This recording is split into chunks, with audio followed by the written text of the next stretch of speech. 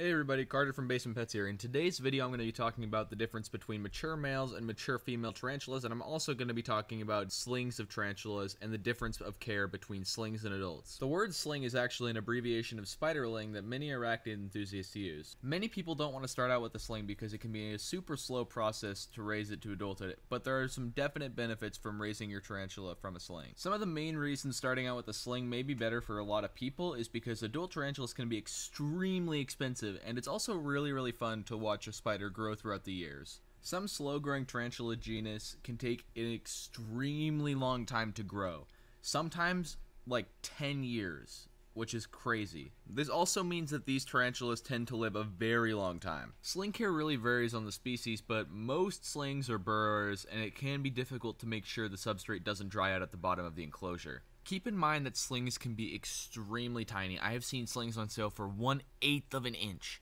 and that's like their legs spread out, which is crazy small. That's like the grains of substrate.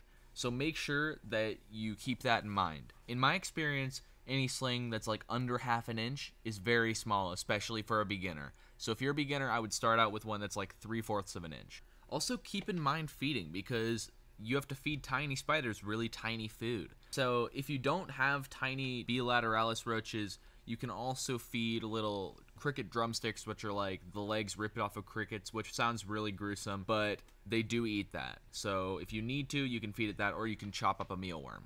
If you want to learn more about sling care, go check out Tom Moran on YouTube. He's got some really great content, and he actually helped me get into my first slings, and he's got two really great and comprehensive videos on sling care. And when your sling grows up, it's going to turn into one of two things a mature male tarantula or a mature female tarantula.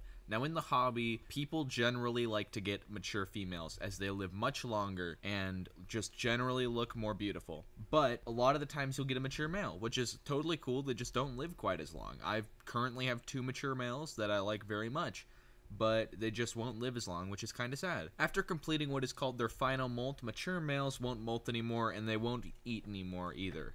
So this means that like my my big guy Hopper, he doesn't eat anymore. He just kind of walks around his enclosure since most male tarantulas in the wild will go on long journeys to try to find females.